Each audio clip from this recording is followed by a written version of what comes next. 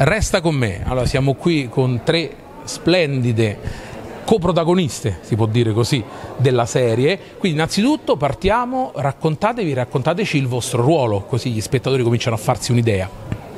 Vai. Sì, allora Parto io, io sono Chiara Celotto, interpreto Linda Fiore che è un agente dell'unità di intervento notturna, è un poliziotto che collabora con Salvatore e Alessandro, Francesco Arche e Antonio Milo e, ed è un personaggio molto forte, con delle fragilità, con un passato difficile, eh, appassionata del suo lavoro ed è un personaggio anche molto coraggioso. E, ehm, e, tu chi sei nella serie? allora, io interpreto Mm, il mio ruolo è Ilaria D'Angelo, eh, nasce a Scampia, quindi in una realtà molto difficile, entra in contatto con il male ben presto, ma decide di combatterlo ehm, scegliendo lo Stato. Quindi sceglie la polizia insieme al fratello Stefano, interpretato da mm, Amedeo Gullà, eh, che saluto.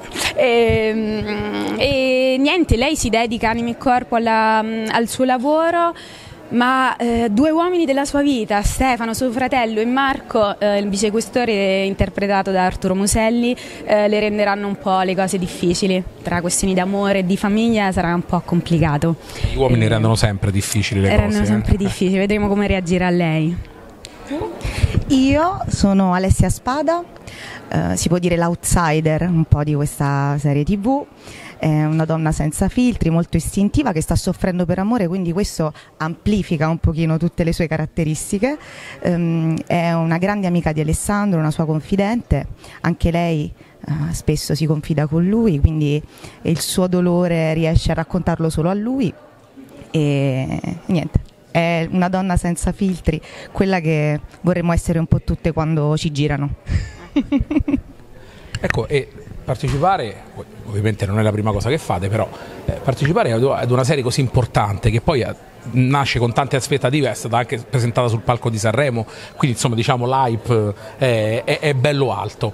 Eh, per un attore poi quando viene, viene preso, viene detto sì ok farei quella serie, è più la paura, oh, al di là della felicità, c'è ovviamente una componente, oddio, mi sto mettendo in un ingranaggio veramente grande. Voi come, come reagite in questo Guarda, casi? in realtà si crea un rapporto talmente eh, stretto con il regista durante i provini che poi l'unica paura che io ho effettivamente è quella di deludere la persona che mi ha scelto.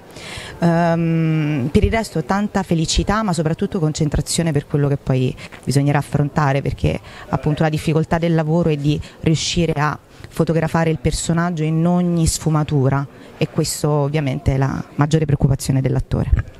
Guarda, una cosa a cui io tengo tantissimo è il gioco di squadra, quindi so che mh, anche di un grande progetto non mi spaventa molto la realizzazione tutto il periodo perché so che ehm, facendo squadra e lavorando insieme, come è capitato anche qui fortunatamente, ehm, eh, si creano delle sinergie belle anche dal punto di vista umano e quello ti fa sentire al sicuro sul set, che penso sia una cosa fondamentale, quindi lavorare in totale serenità, eh, sia con eh, la regia, con il reparto di regia, ma anche proprio tra di noi, tra noi attori, quando si crea complicità è tutto più rassicurante, ti senti protetta, quindi questa per me è una cosa fondamentale e siamo stati molto fortunati.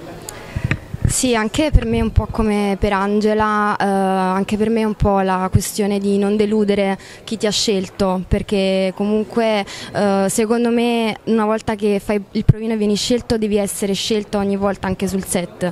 E quindi c'è una grande aspettativa anche da parte mia proprio verso me stessa.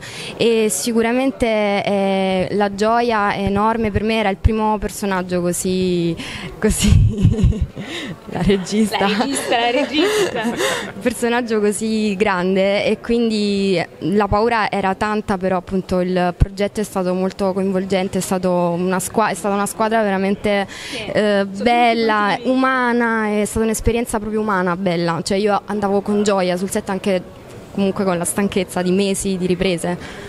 Ecco, e a proposito di esperienza, non vi chiedo la, la, domanda che vi farebbero le amiche a casa, beh, com'è stato lavorare con Francesco Arca, che so, per una ragazza è sempre, immagino, no? eh, di default sia comunque una, una bella cosa, ma invece come è stato lavorare a Napoli, quindi il vostro rapporto con Napoli e che nella serie diventa a tutti gli effetti quasi un altro personaggio. Allora, parto io. Se, Poi se volete dire qualcosa anche su Arca, liberissimo.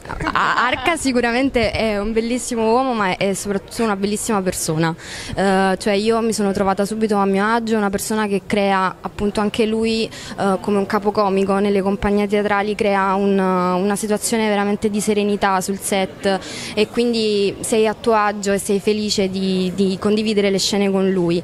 Napoli sicuramente è emozionante viverla uh, proprio anche perché perché è la mia città, quindi eh, sicuramente è, ha un'importanza per me maggiore ed è stato bellissimo viverla di notte perché è una serie soprattutto ambientata di notte e quindi soprattutto viverla in un modo anche un po' oscuro, essendo un poliziesco.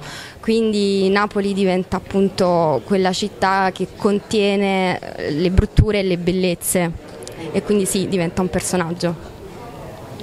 Allora, Arca, rassicuriamo tutti, è così come lo vedete, cioè è proprio bello così, pure dal vivo.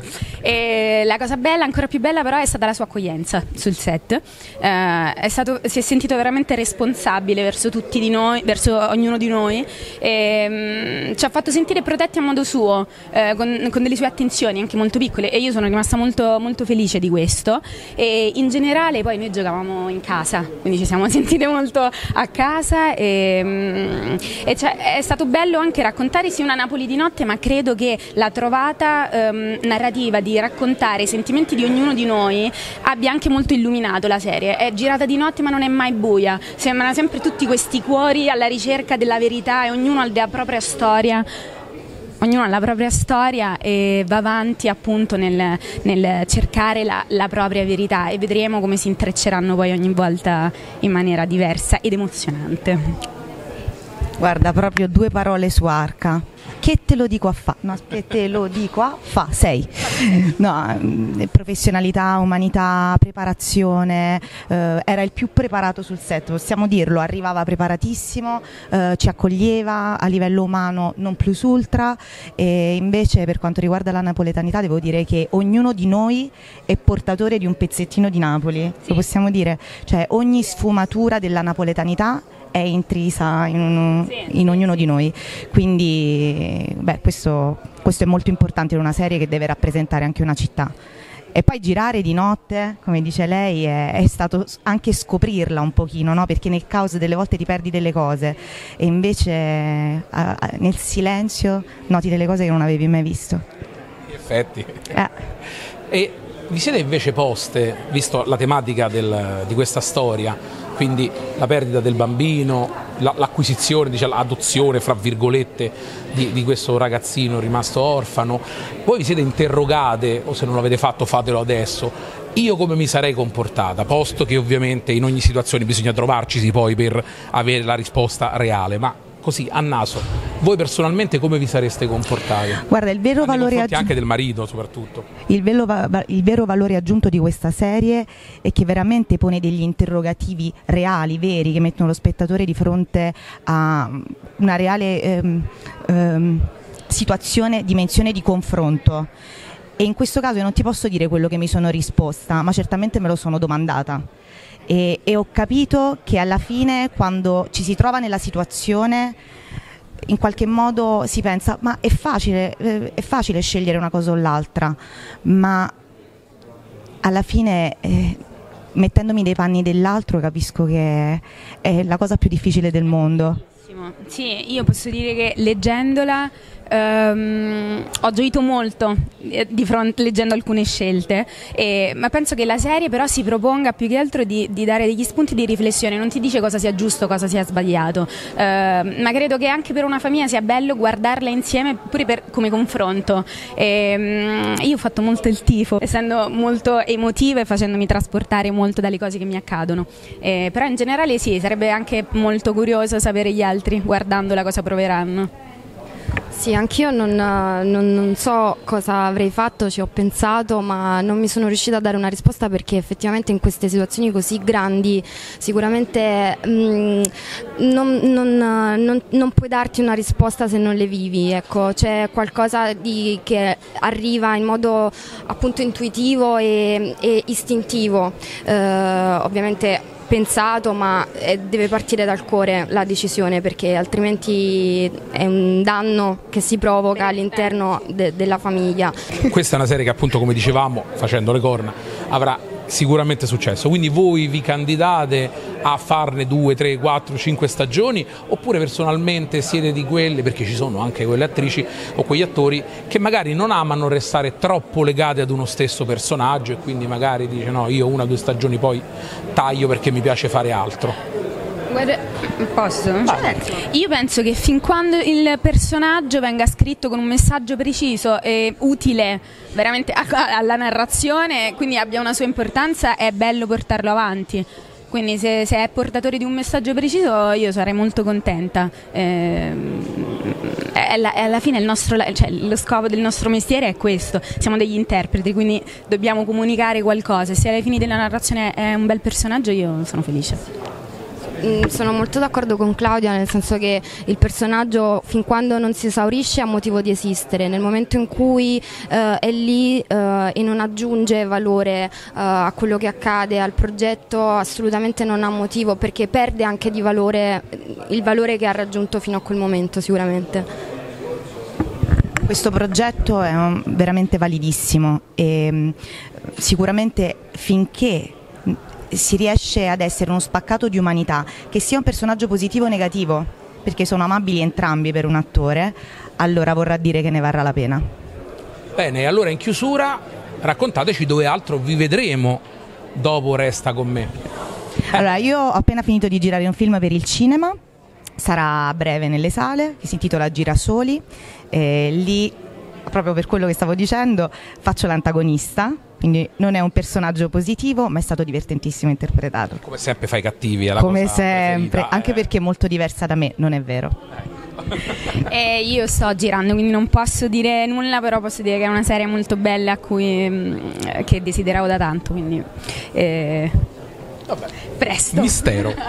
Io da, il 2 marzo uscirà un film di Sidney Sibilia, il nuovo film Mixed by Harry ed è una storia ispirata ad una storia vera incredibile come appunto tutte le storie che racconta Sidney Sibilia ed è una storia del veramente taroccatore più celebre. esattamente del, del re de, della, della, pirateria eh, delle musicassette e quindi è una storia veramente che, che ha toccato tantissime generazioni ed è molto molto una commedia, è, è, è molto eh, anche mm, toccante mm, e devo dire è proprio un, un film ricco.